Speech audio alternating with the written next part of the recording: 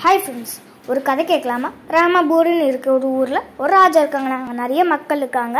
அங்கே வந்து ராமு சோமு அப்படின்னு ஒரு ரெண்டு பேர் இருக்காங்க.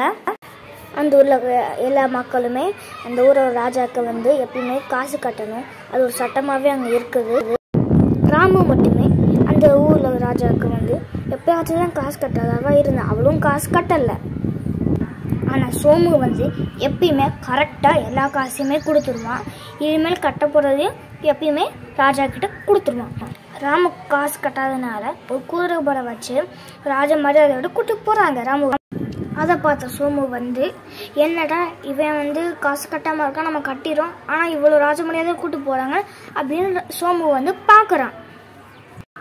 சோமு வந்து ராமு கிட்ட கேட்குறான் நான் தான் காசு ஒழுங்கா கட்டிடுறேன். ஆனால் நீ தான் கட்ட மாட்டேக்கு உனக்கு எதுக்கு இவ்வளோ ராஜ மரியாதையோட கூட்டு போகிறாங்க அப்படின்னு கேட்குறான் அதுக்கு அவன் சிரிச்சுக்கிட்டே சொல்லுறான். சோமுவை பார்த்து ராமு சொல்லுறான். சிரிச்சுக்கிட்டே என்னை அங்கே கூட்டு போய் ராஜ மரியாதையோட சாப்பாடு எல்லாமே எனக்கு தருவாங்க.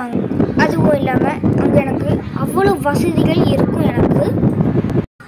ரொம்ப சந்தோஷமா நாங்கள் இருப்பேன் அப்படின்னு சொல்கிறான் ராமு. அதனால அப்போ இருந்து சோமு வந்து அவனும் இவனை மாதிரி காசு கட்டாமல் விட்டுறான். அதோட விளைவுகளை பாருங்கள் ராமுவை கூட்டு போன மாதிரி சோமுவையும் குதிரைப்படையில் கூட்டு போகிறாங்க ராஜ மரியாதையோட கூட்டு போகிறாங்க சோமுக்கு வந்து அவ்வளோ சந்தோஷம். ஆனால் அங்கே போன கடத்து தான் தெரியுது. ராமுவை எந்த அளவுக்கு கஷ்டப்படுத்திருக்காங்கன்னு. ராமுக்கு கொடுத்த விருந்து மாதிரி அதே மாதிரி சோமுக்கும் கொடுக்குறாங்க. என்ன விருந்து பார்க்கீங்களா ஐநூறு சாட்டை அடிகள் யானையோட சாணத்தை அள்ளி போகிற வேலை. கூட்டி பெருக்கி பாத்திரங்களும் அந்த மாதிரி நிறைய ரொம்ப கஷ்டமான வேலை.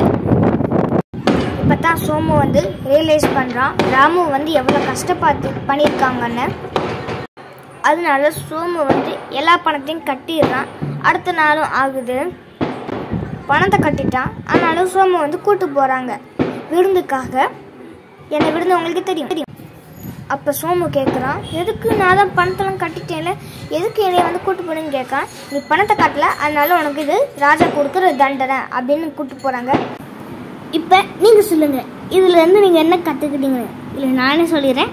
பேராசை பெரு நஷ்டம். இதுதான் இந்த ஸ்டோரியிலேருந்து இருக்குது. எப்படி நீங்கள் கமெண்ட் பண்ணுங்கள் இந்த வீடியோ உங்களுக்கு பிடிச்சிருக்குன்னு நினைக்கிறேன். பிடிச்சிருந்துச்சுன்னா லைக் பண்ணுங்கள் ஷேர் பண்ணுங்கள் கமெண்ட் பண்ணுங்க சப்ஸ்கிரைப் பண்ணிருங்க பெல் ஐக்கனை கொடுத்துருங்க. ஹால் இவ்வளோ பண்ணியிருக்காங்களா இதுல இருந்து நீங்க என்ன கத்துக்கணும்னு கமெண்ட் பண்ணுங்க ஓகேவா